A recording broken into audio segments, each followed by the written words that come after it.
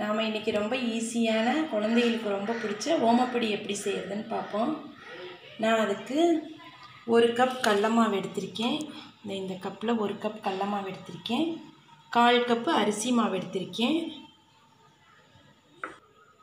ஒரு ஸ்பூன் ஓமம் எடுத்திருக்கேன். இந்த ஓமத்தை மிக்சியில் அடிக்க முடியாதுங்கிறனால அதோட ஒரு ஸ்பூன் பொட்டுக்கடலை சேர்த்து ரெண்டையும் சேர்த்து மிக்சியில் நல்லா மாவாட்டம் அடித்து எடுத்து வச்சுருக்கேன். அதை இந்த மாவோடு சேர்ந்துருக்கேன் அடுத்து கொஞ்சம் போல் மஞ்சத்தூள் போட்டுருவோம். ஒரு கொஞ்சம் ஒரு சிட்டிகை அளவு பெருங்காயத்தூள். உப் உப்பு கொஞ்சம். வெண்ணெய் ஒரு ஸ்பூன் சேர்த்துருவோம். வெண்ணெய் இல்லைன்னா சூடான எண்ணெய் கூட அதில் ரெண்டு ஸ்பூன் சேர்த்திக்கலாம். இப்போ இதை நல்லா கலந்துருவோம் மாவில். அடுத்து கொஞ்சம் கொஞ்சமாக தண்ணி சேர்த்து அப்படியே மாவை பிணைஞ்சிருவோம். மாவு ரொம்ப கெட்டியாகவும் பிணையக்கூடாது ரொம்ப தண்ணியாகவும் இருக்கக்கூடாது.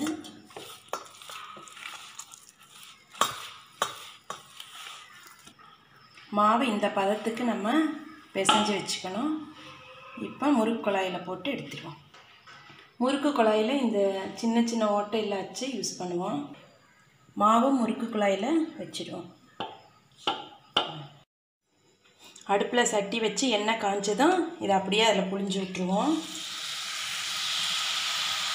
அடுப்பு சிம்லேயே இருக்கட்டும்.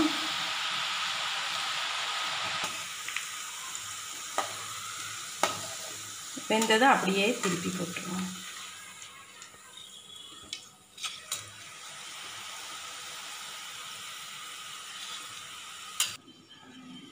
பபிள்ஸ் அடங்கிருச்சு எடுத்துருவோம். அடுத்து கருவேப்பிலை இப்படி போட்டு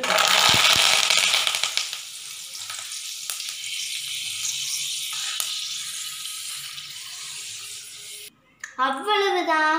சுவையான பொம்மை பொடி ரெடி அவ்வளோதான்